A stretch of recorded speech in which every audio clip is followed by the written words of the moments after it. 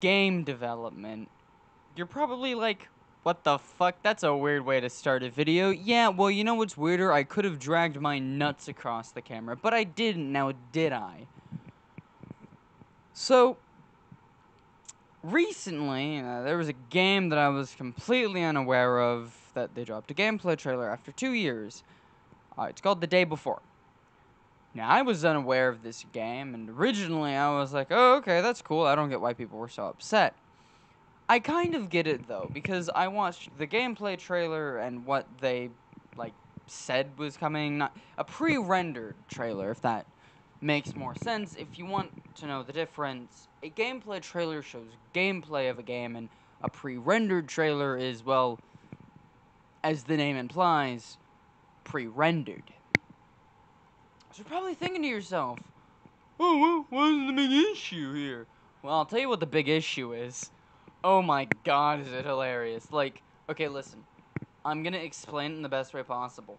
In the pre-rendered trailer, they have, like, two characters talking to each other, and they're basically like, oh yeah, I'm gonna go. One of them, uh, I say they're basically like, one of them goes like, oh yeah, I'm gonna go check out what's in this, uh, what was it, like, skyscraper, tower, whatever, skyscraper or tower.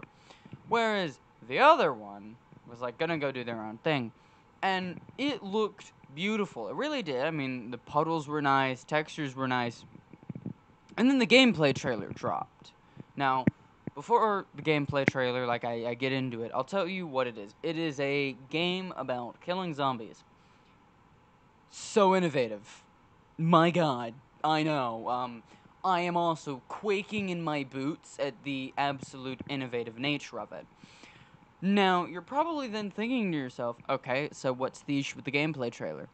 Well, I want you to keep in mind that, like, it doesn't look great. Uh, they show four zombies, don't even shoot, and the gameplay they show is this. Yeah, you're it's it's they're walking around.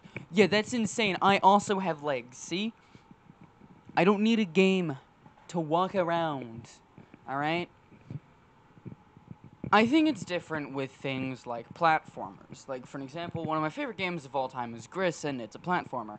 The thing is though is that yes, technically I am walking, but I'm also jumping. I'm doing things. Like Mario's a platformer. You're not just walking. So, I think it's funny that they released it and they're like, oh my god, look at this, it's gonna be so good. Because they've been hyping it up apparently. Now I went, I went through, I saw some of the hype. They did kind of hype it up, and they were like, gameplay trailer dropping, guys. Don't worry, gonna be sick. It's gonna blow your pants off. In fact, you're gonna want new underwear when you watch it. Um, well, I did not need new underwear when I watched the gameplay trailer. At all. Uh, as a matter of fact, I, I, I needed a new shirt because I was sweating from how uninteresting it was. So that being said, what are my overall thoughts on it? Honestly, I don't have much.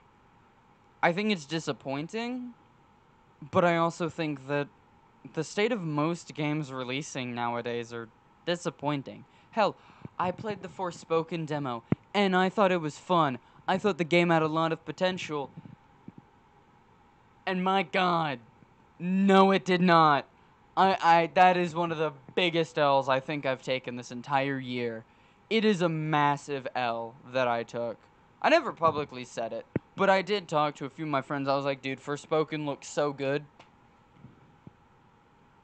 You know what? I haven't played it yet, so maybe it, maybe it's decent. But I'm gonna be getting it on a sale, and let me tell you, it it was a massive L. It was a really bad L for me.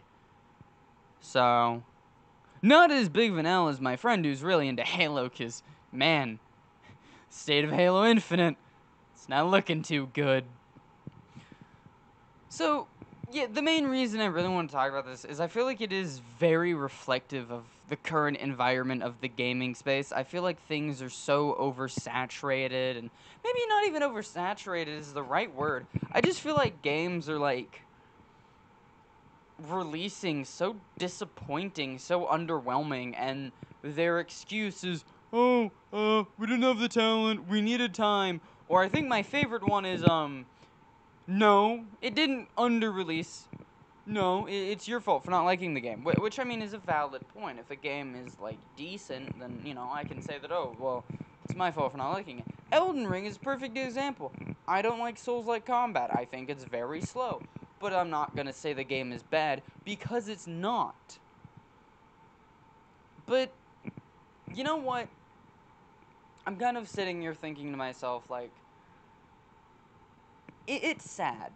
Because I I'm not gonna lie, I'm not like my socks aren't blown off, and not because I don't have any. My socks aren't blown out of the water because like, oh my god, shocking, how could they do this? I'm kind of just like, hmm, another one, huh? And that's really sad. We gotta, like, as gamers, can we just admit it? We need higher standards, dude. Alright, listen. I'm gonna start revolution, alright? We're not gonna accept gaming studios shoving their unwashed, filthy fucking cocks that they've dragged through the mud in our mouths anymore. And more importantly, I'm not letting them dip their nutsack in my wallet if I don't like the fucking game. So, I'm gonna call for it. If a game looks like shit, don't buy it. Alright? Make them have higher standards of us and make them earn our money. Who knows? The game's not out yet, so maybe this is like a really old gameplay trailer that they just haven't released yet for what reason? Who knows? It's very possible they haven't. But, you know what? I don't think that's true. I don't think that's true because there's a very detailed video on it, and I'll link it in the description below, of everything that happened. So, I kind of think it's just reflection of the gaming industry right now, the state it's in. It's very much, nah, just put it out. They'll buy it still. And apparently it was like the number one listed game on Steam. Number one or number two? I never fucking heard of it, to be honest.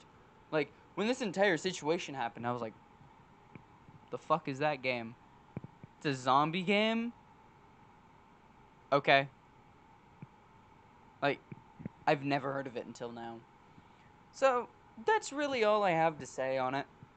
Uh, I really think we do need to hold game developers to it. And maybe not game developers, but at least the publishers to a higher standard. They need to understand that we want quality stuff. Alright, now I'm not saying every game has to be amazing or perfect or like flawless or an absolute world shattering view. No. It's okay if a game is good. It's okay if a game is just okay. It's okay if you're like, yeah, I played that game. It wasn't bad. Alright?